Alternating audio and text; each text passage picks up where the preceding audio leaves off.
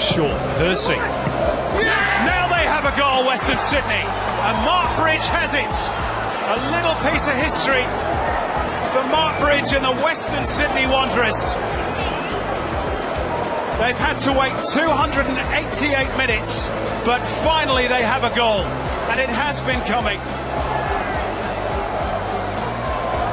Well, you can see the relief on the plays. It's a good header, but it's a great ball in from Hersi. That's just slack defending on Brisbane's part.